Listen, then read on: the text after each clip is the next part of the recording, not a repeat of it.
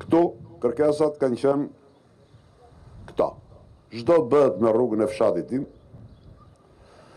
ç'do bëhet me pastrimin e kanaleve të para, të dyta dhe të treta, ç'do bëhet me kanalet vaditëse, po me rrymën elektrike, po me ujët e pijshëm, Po me çerdhen, me kopshtin, me shkollën, me qendrën shëndetësore? Ça do të bëhet me inputet e bujqësisë? Ça do të bëhet me çmimin e naftës se s'ia vlen ta kultivosh etj etj. Ne as e kemi harruar kur na i thatë dhe as e harrojmë sot që vijmë përsëri para jush për dy mandatet që ju na besuat. Mirënjohje, faleminderit, qoftë për mbështetjen në trembëdhjetën, qoftë për mbështetjen në shtatëmbëdhjetën. Këto kanë qenë detyrat tona të shtëpisë. Ti e voton një qeveri që ajo qeveri të bëjë ato që i do ti.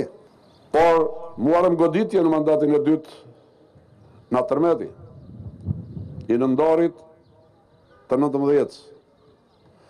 Dhe s'mjaftoi kjo, por goditja e pandemisë, që uli në gjunjë gjithë superfuqitë ekonomike të botës, jo më ne.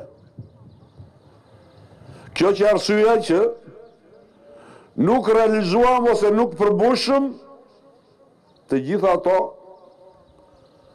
që thamë. E para dhe mbi të gjitha është bujqësia, është fshati. Është fshati. Ky është mandati i fshatit. Ky është plani jonë i punës. Dhe kur flas që është mandati për fshatin, është që të gjitha ato që numëroi shoku Erion të përfundojnë, por mbi të gjitha, bujqësia është baza e ekonomisë shqiptare.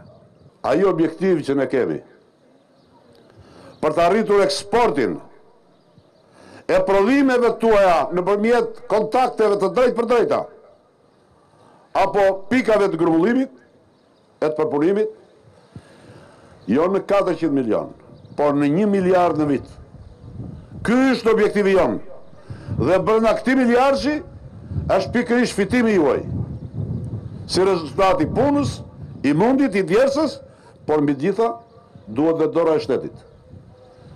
Duhet dora e shtetit që të mos zihet më në gojë kanalet kulluse, të mos zihet më në gojë parcelë pa ujë, të mos zihet më në gojë çështja e çmimit të naftës, inputeve të bujqësisë etj etj.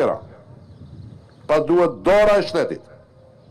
Ja pse themi, Ejani në datën njëzet e pesë, votoni dhe mbështesni që ky mandat katërvjeçar të jetë në shërbim të mirave materiale për çdo banor që jeton në zonat rurale.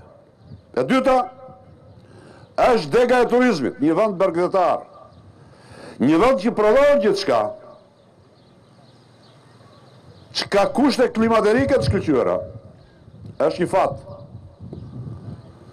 Në gjithë këtë marrëzi që është bërë bregdeti shqiptar, që pjesa e bregdetit të qarkut të Fierit, ende është ruajtur.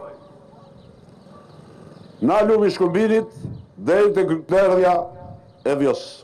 E pikërisht për këtë sektor, për këtë vijë, ka plane konkrete Projekte konkrete, që të mos skandalizohet si Golemi, po që të zhvillohet me kompani konkrete, që të kthehet në burim të të ardhurash për këtë vend. Nuk ka kohë për pushim. Nuk ka kohë për kthim mbrapa. Nuk ka kohë për eksperimente. Është e domosdoshme vazhdimësia dhe përfundimi i të gjitha këtyre pikësynimeve që kemi për të ardhmen. Kjo është në dorë tuaj, me pjesëmarrjen tuaj dhe me votën tuaj për Partinë Socialiste të Shqipërisë, për programin, për lidershipin dhe për ekipin e tyre.